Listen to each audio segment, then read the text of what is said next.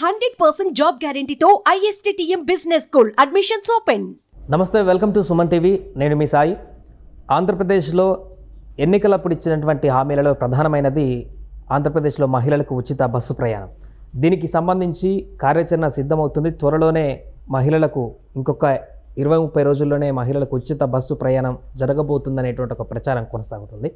దీనికి సంబంధించి మనం మాట్లాడదాం. మనతో పాటు Suman TV news chief editor Keshav గారు సార్ నమస్తే. నమస్తే. సో మహిళలకు ఉచిత బస్సు ప్రయాణం. కర్ణాటకలో అమలైంది తెలంగాణలో అమలైంది. ఇప్పుడు ఏపీలో కూడా అమలు కాబోతుంది కొద్ది రోజుల్లో అంటున్నారు. సాధ్యమయ్యే పైన అంత తొందరలో?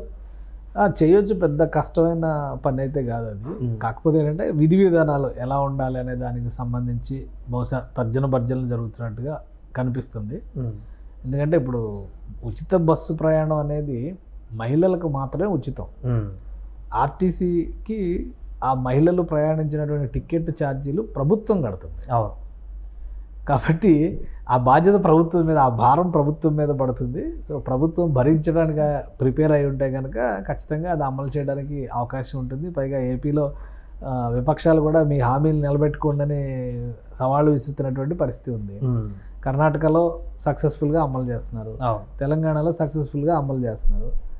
దక్షిణాది రాష్ట్రాల్లో ఆంధ్రప్రదేశ్ కూడా కీలకమైంది. బహుశా ఇది కర్ణాటకలో మొదలై తెలంగాణ మీదుగా ఆంధ్ర ఆంధ్రప్రదేశ్ దాకా వచ్చింది. సో తర్వాత ఇది దేశవ్యాప్తం అయినా కానీ ఆశ్చర్యపోవాల్సినటువంటి అవసరం లేదు. కర్ణాటక కంటే ముందర ఢిల్లీలో ఆమ్ ఆద్మీ పార్టీ దీన్ని ఇంప్లిమెంట్ చేసింది సక్సెస్ఫుల్గా. అది దానివల్ల మహిళలు లబ్ధి పొందారు కాబట్టి ఆమ్ ఆద్మీ పార్టీ వెంట నడిచారు. సో దాని నుంచి ఇన్స్పైర్ అయ్యి కర్ణాటకలో కాంగ్రెస్ ప్రభుత్వం కాంగ్రెస్ కూడా అధికారంలోకి వచ్చేటువంటి క్రమంలో ఉచిత. బస్సు నినాదాన్ని తీసుకుంది. అది సత్ఫలితం ఇచ్చిందని మనం భావించాల్సి ఉంటుంది. అంటే ఇప్పుడు జరుగుతున్న ఒక ప్రచారం ఏంటంటే దీనివల్ల నిధుల బడ్డను ఎక్కువ పడుతుంది ప్రభుత్వం మీద. అందుకే ఇప్పుడు కర్ణాటకలో కూడా పరిస్థితి దివాలా తీసిందని ప్రచారం చేస్తున్నారు. కేటీఆర్ గారు కూడా ఒక ట్వీట్ పెట్టారు. తెలంగాణలో కూడా అదే పరిస్థితి రాబోయే రోజుల్లో అంటూ. ఇప్పుడు ఆంధ్రప్రదేశ్లో కూడా ఇంప్లిమెంట్ చేస్తే అలాంటి పరిస్థితి రాదంటారా? కేటీఆర్ ట్వీట్ కంప్లీట్గా రాజకీయపరమైనటువంటి ట్వీట్. కేఎస్ఆర్టీసీలో చైర్మన్ లాంటి వాళ్ళు ఇచ్చిన స్టేట్మెంట్లు కూడా అదేదో పొలిటికల్ ప్రొవోకేటివ్ స్టేట్మెంట్స్ లాగా అనిపిస్తున్నాయి. ఆయన చెప్తున్నటువంటి మాట ఏంటంటే ప్రభుత్వం ఆర్టీసీ పైన భారం పడుతుంది. ఏదో మూడు రూపాయల నుంచి మూడు రూపాయల చేంజ్ లెక్కే చెప్పారు. ప్రతి కిలోమీటర్కి. చెప్పి అలా చూస్తే కనుక ఓవరాల్గా కనీసం పదిహేను నుంచి ఇరవై శాతం ఛార్జీలు పెంచాల్సినటువంటి అవసరం. అఫీషియల్స్ ఎప్పుడు కూడా ఆ స్టైల్లోనే మాట్లాడతారు. పొలిటీషియన్స్ ఎప్పుడు కూడా ఓటర్ మైండ్ సెట్ని దృష్టిలో పెట్టుకొని డెసిషన్స్ తీసుకుంటారు. కాబట్టి. అక్కడ పెంపు అనేది సాధ్యం కాకపోవచ్చు. మొత్తం కలిపి గత మూడు నెలల్లో మూడు మూడు వందల తొంభై కోట్ల పైన మూడు వందల తొంభై ఐదు కోట్ల వరకు నష్టాలు వచ్చినాయని చెప్పారు. అసలు నష్టం ఏ విధంగా వస్తుంది? అంటే ఆర్టీసీకి రాష్ట్ర ప్రభుత్వం పేమెంట్ చేయకపోవడం వలన వస్తున్నటువంటి నష్టమా? లేదంటే ఉచిత బస్సు స్కీమ్ అమలు చేయడం వలన వస్తున్నటువంటి నష్టమా. అది క్లారిటీ రావాలి. ఇప్పుడు ఒక తెలంగాణలో ఈ స్కీమ్ అమలు చేసేటప్పుడు ప్రభుత్వం క్లారిటీ ఇచ్చింది. ఉచిత బస్సు ప్రయాణం మహిళలకు మాత్రమే. కానీ అది నిజంగా ఉచితం కాదు. దానికి రాష్ట్ర ప్రభుత్వం ఆర్టీసీకి పేమెంట్ చేస్తుంది. సో ఆర్టీసీకి రాష్ట్ర ప్రభుత్వం పేమెంట్ చేయడం వలన మహిళలు బస్సులో తిరగడం వలన ఆ వస్తున్నటువంటి ఆదాయం అనేది ఒక నికరంగా పక్కాగా ఆర్టీసీ బస్సు ఎక్కి మహిళలు వెళ్తారనేటువంటి కాన్ఫిడెన్స్ మామూలుగా అనుకోండి. Private vehicles. కూడా వెళ్తుంటారు. ప్రైవేట్ వెహికల్స్లో వెళ్తారు. ఓన్ వెహికల్స్లో వెళ్తారు షేరింగ్ ఆటోల్లో వెళ్తారు. సో ఈ ఛార్జీలన్నీ కూడా ఆర్టీసీ కోటాలో రావు కదా. Hmm. ఇప్పుడు ఉచిత ప్రయాణం అనేసరికి ఆర్టీసీ కోటాలోకి వస్తే ఆ నంబర్ ఆఫ్ టికెటింగ్ వాల్యూ ఎంత ఉంటే అంత గవర్నమెంట్ పే ఇచ్చేస్తుంది మరి ఆర్టీసీ తెలంగాణలో నష్టాల్లోంచి బయటపడిందని చెప్తున్నారు. సో కర్ణాటకలో నష్టాల్లోకి ఎలా వచ్చింది? ఇంకో విషయం గమనించాలి. కర్ణాటకలో రెండు వేల పంతొమ్మిది నుంచి బస్సు ఛార్జీలు పెంచలేదు. సో రెండు వేల పంతొమ్మిది నుంచి పెంచినటువంటి ఛార్జీలు నాలుగేళ్ళలో ఇప్పుడు ఈ నాలుగేళ్ళలో జరిగినటువంటి పరిణామాలు ఆల్మోస్ట్ ఐదేళ్ళు దాటేసింది. సో ఈ ఈ అంటే గవర్నమెంట్ ఫామ్ అయిన టైం నుంచి ఇప్పటివరకు మనం తీసుకొని చూస్తే కనుక అన్ని రకాలుగా పెట్రోల్ డీజిల్ ఛార్జీల దగ్గర నుంచి అనేక ఖర్చులు పెరిగాయి. అంటే నిర్వహణ వ్యయం కూడా ఆర్టీసీకి పెరిగి ఉండొచ్చు కదా. సో దాని నుంచి కొంత ఇబ్బందికరమైనటువంటి పరిస్థితులు ఆర్టీసీ ఎదుర్కొంటూ ఉండొచ్చు కర్ణాటకలో. సో అక్కడ నేటివ్ ప్రాబ్లమ్స్ ఏంటి? నేటివ్ ఇష్యూస్ ఏంటి అనే దాని మీద ఆధారపడి ఉంటుంది ఆ నష్టాలకు సంబంధించి. తెలంగాణలో ఇది లాస్ కాదు అని చాలా స్పష్టంగా ప్రభుత్వం చెబుతుంది. ప్రస్తుతం ఆంధ్రప్రదేశ్ గవర్నమెంట్ కూడా రవాణా శాఖ మంత్రి రాంప్రసాద్ రెడ్డి కొన్ని సమాలోచనలు నిర్వహిస్తున్నారు. ఆర్టీసీకి సంబంధించి ఆయన దానికి సంబంధించినటువంటి డీటెయిల్స్ కూడా ఎక్స్లో షేర్ చేశారు. ఆర్టీసీకి సంబంధించి ఆపరేషన్స్ ఈడీ ఆఫీస్ స్టాఫ్తో డైరెక్టర్స్తో వాళ్ళతో డిస్కషన్స్లో ఆయన చాలా సీరియస్గా ఉన్నారు. ఆగస్ట్ పదిహేనో తేదీ నుంచి దీన్ని ఇంప్లిమెంట్ చేయాలని ఆల్రెడీ రెవెన్యూ మినిస్టర్ కూడా ఒక స్టేట్మెంట్ ఏదో ఇచ్చారని చెప్పని అంటున్నారు. ఆగస్టు పదిహేను నుంచి ఇంప్లిమెంట్ చేస్తే బాగుంటుందని. సో ఒకవేళ నష్టాల్లో ఉంటే ఆ నష్టాలను భరించడానికి ప్రిపేర్ అయితేనే కదా రాష్ట్ర ప్రభుత్వం తీసుకునేది. సూపర్ సిక్స్ అని చెప్పని మహిళలకు ఇచ్చేటువంటి హామీల్లో చాలా కీలకమైనటువంటి హామీ ఉచిత బస్సు. ఉచిత బస్సు. సో ఈ ఉచిత బస్సుని పక్కకు జరిపేసి పెడతారని చెప్పి నేనైతే అనుకోవడం లేదు. బహుశా దాని మీద రాష్ట్ర ప్రభుత్వం ఆంధ్రప్రదేశ్ ప్రభుత్వం వర్కౌట్ చేస్తున్నట్టుంది అతి త్వరలో దానికి సంబంధించినటువంటి విధి విధానాలు తెలంగాణలో ఫస్ట్ సంతకం ఉచిత బస్సు మీద పెట్టారు.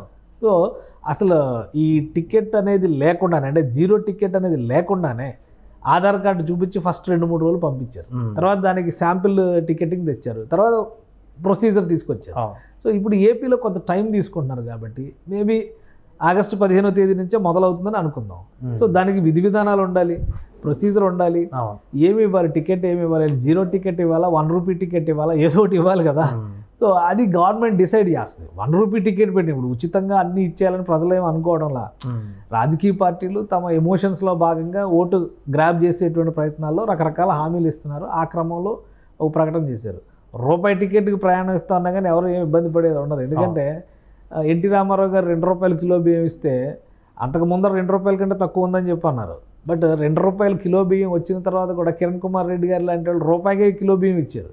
సో ఆ పథకం వాల్యూనే పోయింది. రూపాయి కంటే ఉచితంగా తీసుకొచ్చేటటువంటి చర్చ కూడా నడిచింది. కాబట్టి ఈ ఈ పథకాలను ఇంప్లిమెంట్ చేసేటప్పుడు వాటిపైన ఒక నిర్దిష్టమైనటువంటి విధి విధానాలు ఫ్రేమ్ చేసుకున్న తర్వాత అమలు చేయడం అనేది ప్రారంభిస్తే వెనుదిరిగి చూసుకునేటువంటి అవసరం ఉండదు. బహుశా AP government one month complete అయింది సెకండ్ మంత్ అంటే రేపు ఆగస్ట్ నాలుగో తారీఖుకి సెకండ్ మంత్ కంప్లీట్ అవుతుంది ఒకవేళ ఆగస్ట్ పదిహేను నుంచి ఇంప్లిమెంట్ చేయాలంటే బహుశా ఒక రెండు మూడు రోజుల్లో అధికారిక ప్రకటన ఉండొచ్చు.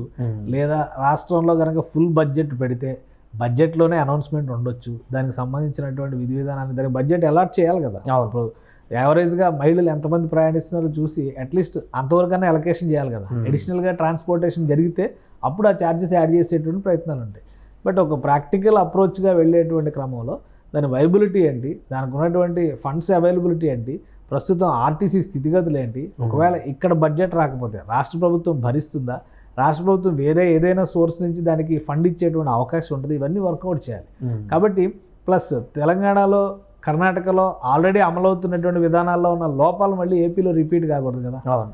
సో ఇక్కడ ఆటోల సంబంధించిన ప్రాబ్లమ్స్ కూడా ఫేస్ చేస్తున్నారు. చాలా మంది దాని వల్ల మేము లాస్ అవుతున్నామంటూ వాళ్ళు వాళ్ళు చాలా రోజుల నుంచి కూడా ఆందోళన చేస్తున్నారు. సో అట్లాంటి వాటిని కూడా సార్ట్అవుట్ చేసుకునేటువంటి అవకాశం ఖచ్చితంగా ఉంటుంది. పైగా తెలంగాణలో హైదరాబాద్ లాంటి మహానగరం ఉంది కాబట్టి దీనికి ఉండేటువంటి రీచ్ ఎక్కువ.